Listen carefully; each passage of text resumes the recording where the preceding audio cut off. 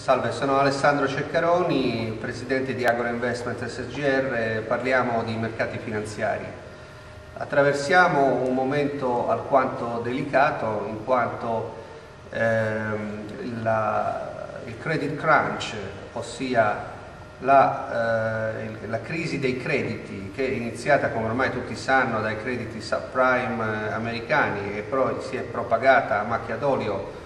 su praticamente tutti i tipi di credito, ora è di nuovo eh, così, sotto i riflettori, eh, se vogliamo un po' a scoppio ritardato, eh, diciamo stanno cominciando a venire fuori, o probabilmente è già venuta fuori la maggior parte eh, dei problemi da parte, dal punto di vista delle banche, cioè le banche e le assicurazioni hanno ultimi, nelle ultime settimane tirato fuori eh, dai, nei loro bilanci, hanno dichiarato ingentissime perdite eh, nei rispettivi bilanci. Eh, il mercato eh, ha particolarmente penalizzato le, le istituzioni finanziarie anche eh, molto più di quanto eh, non fece ehm, così, al massimo della crisi che diciamo, ricorderemo lo scorso agosto quando anche i mercati azionari ehm, presero molto sul serio la situazione e diciamo,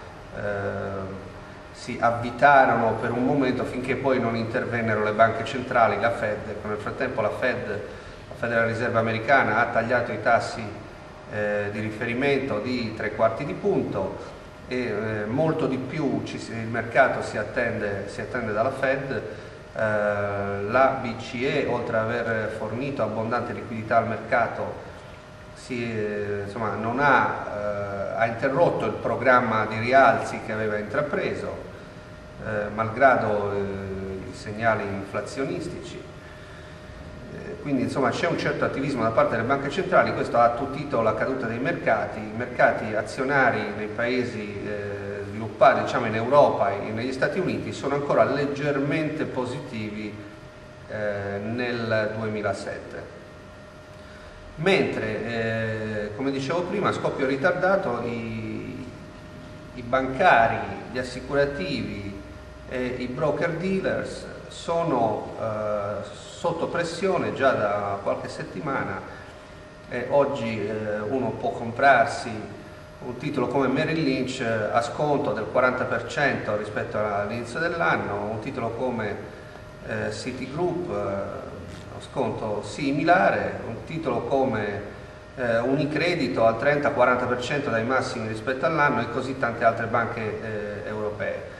Ehm, ripeto, questo è un fenomeno eh, eh, diciamo in parte dovuto a certi meccanismi di mercato, banche, la mancanza di trasparenza eh, ancora ci si chiede quanto, quanto sia il danno sui bilanci delle banche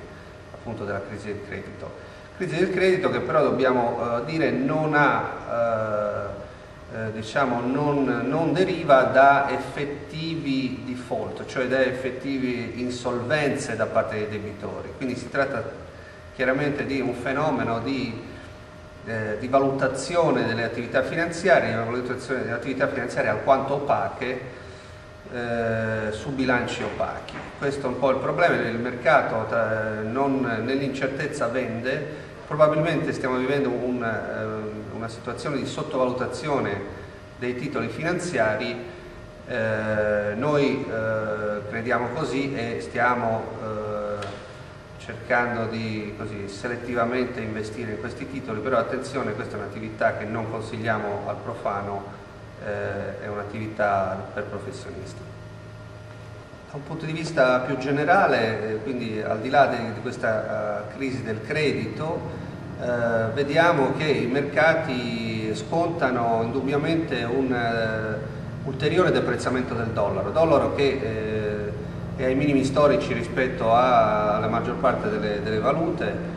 oltre 1,47 con l'euro e in questo momento sta scendendo molto violentemente contro lo yen.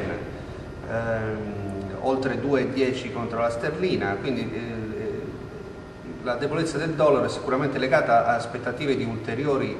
abbassamenti dei tassi americani, eh, quindi tutto ciò che è denominato in dollari eh, schizza, petrolio, 90, tra i 95 e i 97 dollari, l'oro che ormai stabilmente è sotto 800 dollari l'oncia, intorno a 830-840, questi sono fenomeni eh, così, in parte dovuti al deprezzamento del dollaro, in parte anche così, eh, misurano una certa perdita di credibilità da parte della Fed, nel senso che il mercato percepisce che la priorità della Federal Reserve non è la lotta all'inflazione, ma è eh, diciamo, eh, evitare una recessione in America. In tutto questo i mercati azionari non possono che risentirne, quindi molta cautela sui mercati azionari.